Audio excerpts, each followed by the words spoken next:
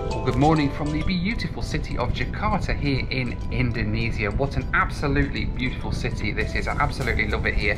Uh, but today I'm taking a flight out of Jakarta with an airline that, um, well, doesn't have the best reputation um, in terms of safety or much of anything really. So um, yes, join me today because we're taking a flight on Lion Air. Eek. Thank you. Um, see you tomorrow. Thank you. See you.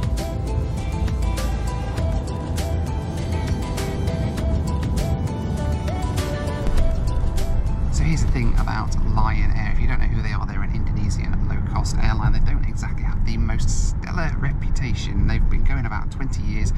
In that time, they've had 10 crashes. Um, yeah, which means on average, by my dodgy Leicester High School maths, um, that's like one crash every two years, and it's been about three years since the last one. So um, that's interesting.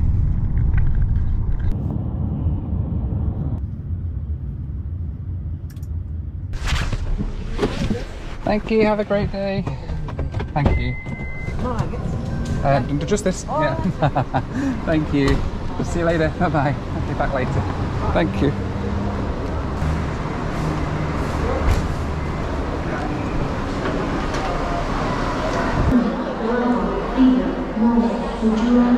Right, so I've got to find out where I need to be. I've got no idea. E6 is my gate. Um, and this airport's just chaos. I've got no idea where I need to go. So let's see if we can figure this one out. Alright, so I got through, well, I've gone went through to the next bit of the airport. It's weird, it's sort of segregated into different areas. Um, we're not even at security yet, so we've sort of gone through that first bit, gone through the check-in bit, now I'm in another bit, and now sort of heading for security, I think. Let's go and um, get through security and see what's airside here at Jakarta Airport.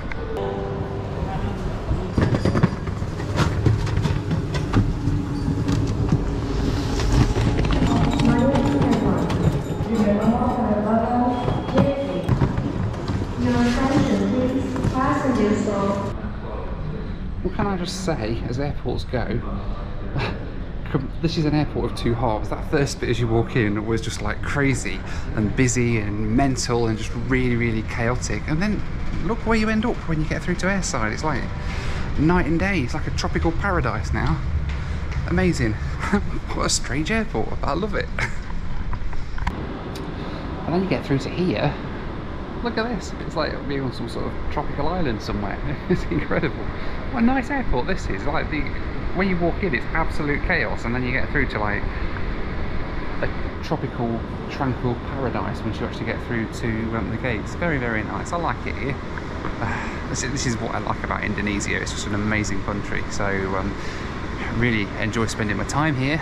Um, so, looking forward to seeing what Lion Air have got in store for me today, for sure.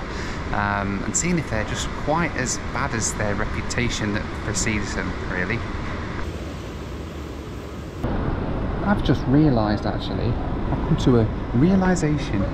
Lion, spelt backwards, is the same word that Josh Cahill calls me. Noil. Noil. Noil air. And subscribe to Noil's OnlyFans. OnlyFans.com slash Noil. Um, um, is it normal that at an airport departure gate there's a room for people to go and pray before they get on the plane? Is that a sign about Lion Air? It's fair to say that Lion Air don't exactly have the best safety record. They've been banned from flying to the EU and the US for most of their history thanks to a series of high profile accidents. Since 2002, they've crashed a total of 11 planes, mostly down to either pilot error or maintenance failures. The latest and perhaps most well known crash was the MAX 8 crash after taking off from Jakarta in 2018. Investigators said that the crash was caused by a combination of design flaws by Boeing, poorly trained pilots, and inadequate maintenance by Lion Air. The flight I'm taking today is the same one as the ill fated flight JT610 was supposed to fly, the morning flight from Jakarta to Pangkal Pinang, now renumbered to flight JT618. It wasn't too long before my plane turned up, but it seemed some people were more eager than others to try and get on board. So rather interestingly, there is a door here that leads you straight down the jet bridge onto the plane. There's nobody standing here and the door's completely unlocked so people are like literally walking down to the plane and getting turned around and sent back up because they're not ready to board yet.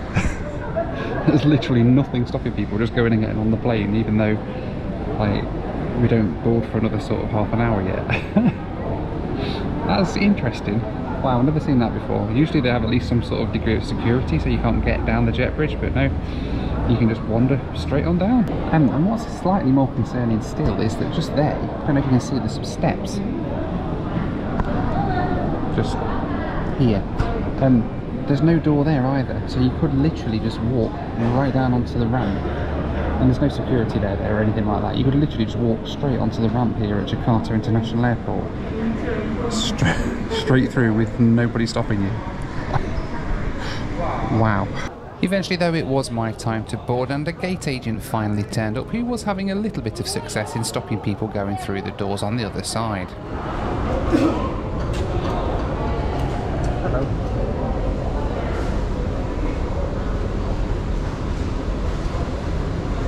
Okay. Right, thank you.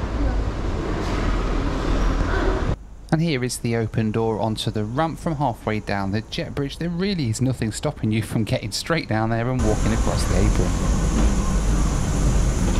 Hello, good morning. Welcome. Thank you. aboard. Thank you.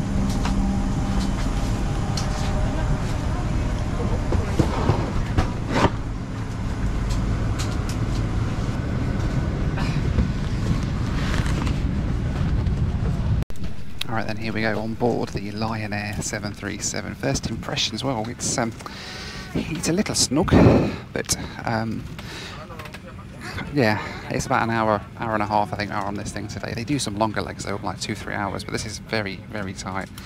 Um, but I like the fact that the seat back's quite nice and high though, that's quite nice. And there's my view out the window.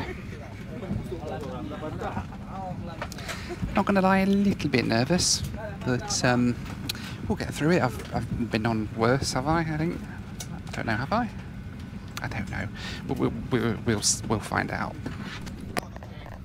I was starting to wonder whether Lion Parcel would give me a little bit more of a comfortable ride than sitting in the back of a Lion Air 737.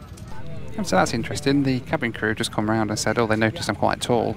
Um, would I like to move to an emergency exit row to get a little bit more leg room?" Um, which I thought was quite nice. And um, very sweet of them. I said, "No, I'm all right, thank you. It's only an hour-long flight, um, so I don't mind sitting here." And also, it means everybody else has got to move to let me out, so I'm all right sitting here. But that's very kind of them, very thoughtful, actually. So yeah, thank you, Lion. Air. That's very kind for the offer. Before too long, we started to push back, and I made sure I had a good old read of the safety card before we got on our way up to Pangkal Pinang.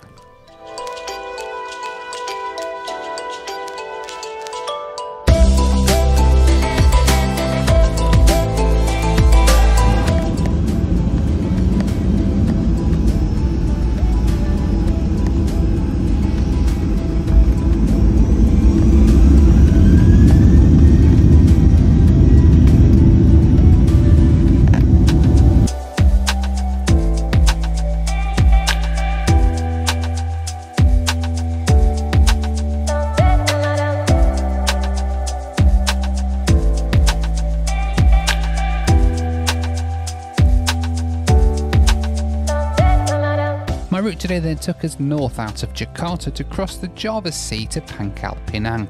Flight time today was 47 minutes, cruising at 27,000 feet. Alright then, so airborne from Jakarta on the Lion Air 737-900. Um, so yeah, all pretty decent so far. Um, nice views of um, the airport of Jakarta as we climbed out there, that was pretty nice. Got about a 40 minute run I think that was today up to Pangkal Pinang, which is a. I'll, I'll be completely honest, I've done literally no research on this place at all.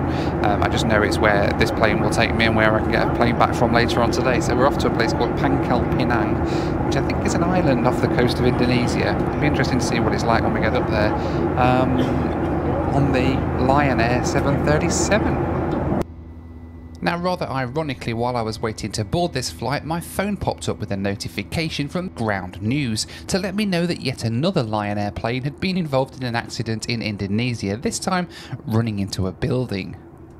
Now, Ground News is actually an app that I've used for years, so when they approached me and asked if they could sponsor me, it was really a no-brainer because I absolutely love this app. And it basically uh, amalgamates all of the news together um, into one app, which sounds kind of, well, not a lot, there's a few apps that do that sort of thing. The difference with Ground News is that it lets you sort by things like the bias of the news organisation, so you can get like a really complete view from the left to the right of the whole kind of spectrum of analysis on different news stories, which I find invaluable. You can read a news story and find it's been written in a completely different way from the left wing outlet to a right wing outlet, and normally you don't get to see that, do you? Normally you don't get to see that whole kind of range in the spectrum, but you can actually watch them, read them, and compare them and see, right, what are we being told that this other outlet isn't telling us and things like that. It's really, really good. Now, Ground News is completely free of charge to download and install and use it. And I, like I said, I use it all the time.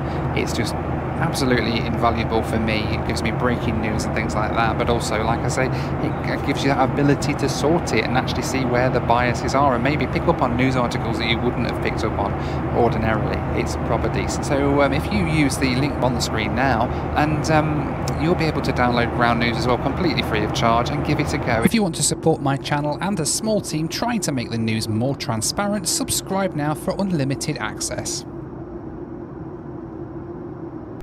Alright, then started our descent down into. Um, oh, f- I forgot the name of the place we're going. Alright, then started our descent. Interestingly, they've just done an announcement saying that please do not remove the life jackets from the aircraft when we leave the aircraft because they will search the bags of everybody when you get off to make sure that you haven't taken the um, life jacket. Um, is, is that a problem on Lion Air? It's a slightly worrying one, isn't it? I've just checked. There is one, definitely one under my seat, so um, we are we are good. and no, I, I, won't be taking it as a souvenir on today's flight. Anyway, we'll be down on the ground. Um, I guess in about ten minutes now.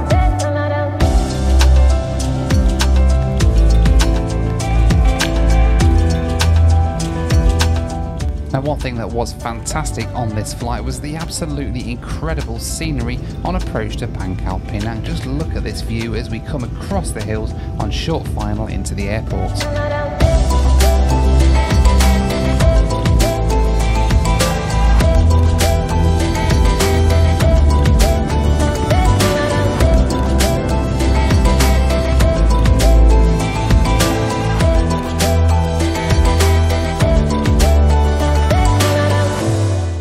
We were then landing at Pangkal Pinang. The only challenge now to get off the aircraft without getting beaten to a pulp by all the other passengers.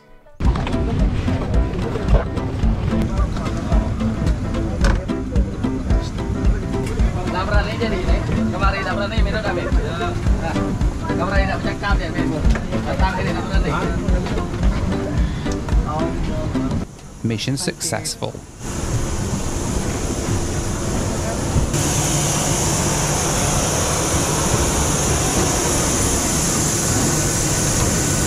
The coolest thing about flying into airports like this is that absolutely nobody is in a rush to get off the apron once you land and get off the plane because everybody's just standing around taking selfies, which was a great opportunity for me to get my own selfie in front of a Lion Air 737. Selfies complete, it was time to head into the terminal building to find out what's here at this tiny airport in the north of Indonesia. I'm a survivor. Yes, survived Lion Air. Yay. Um, now, I've got to say some good things and some bad things because if I am positive about an airline and say nice things, or people say that they've paid me, and if I say bad things about airlines, then people inevitably say that another airline has paid me. Apparently, that's actually the thing, apparently. But um, anyway, um, so good things. The cabin crew on Lion Air were fantastic, absolutely amazing. Could not do enough to help me. Really, really good. Um, bad things, well, the leg room was a bit of a crap situation, really. It wasn't brilliant, but they did offer to move me, which was nice. And um, other good thing is that we didn't end up going for a swimming lesson in a lagoon off the end of a runway somewhere, which on Lion Air is always a positive. So, thumbs up, Lion Air. That was quite a nice flight, actually. Um, welcome to Pangkal Pinang um, in the north of Indonesia. Um, and I'm about to head back inside because I've got another airline to try today. And I'm really looking forward to trying them. So let me know what you thought to Lion Air down in the comments. Would you fly them? Would you risk it? Let me know down in the comments. In the meantime, thank you so much for watching. Take care, and I'll see you on the next one. Bye for now.